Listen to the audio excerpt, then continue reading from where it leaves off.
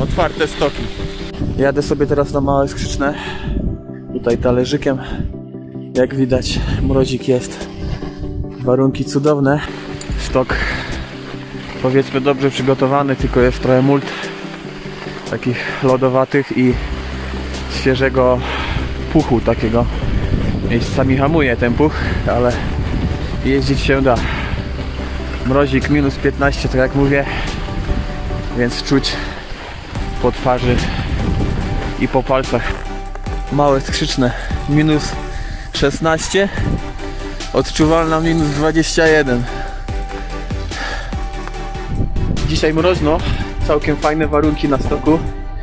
Tylko coś mi moje GoPro przy minus 15, tak jak teraz mamy, odmawia posłuszeństwa, ale tak samo gimbal i nie chcę nagrywać, po prostu ekran się wyłącza. Więc coś będę nagrywał telefonem. Może coś tego GoPro wyciągnę materiału. Zobaczymy. Jak widać mrozik trzyma, śnieg jest.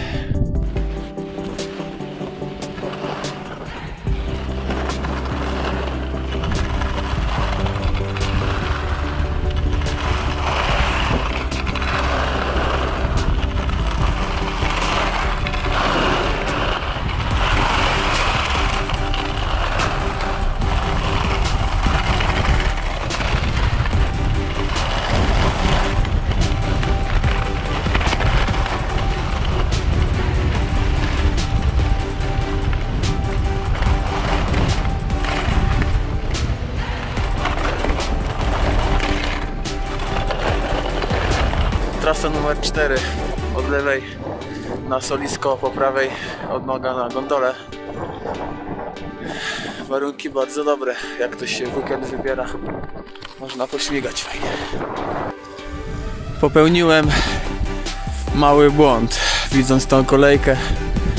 Mogłem jeździć u góry bez kolejki.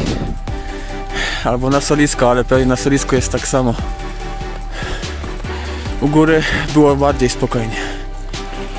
Trochę się rozpogodziło i od razu widoczność jest lepsza, lepiej się jeździ. Przestało też tak wiać. Tak sobie pomyślałem w poniedziałek, a wezmę sobie wolne. W piątek nie będzie ludzi na stoku. A tutaj cyk i kolejeczki na dole, więc na dół nie zjeżdżam ani do soliska, ani do gondoli tutaj talerzyk i kanapa na zbójnicką kopę bez kolejek, więc będę sobie tutaj śmigał. W końcu mogę dobrze przetestować nowe narty. Tutaj mamy dobre warunki dzisiaj. Chociaż stok trochę zmrożony. Taki, że tak powiem, oblodzony bardziej.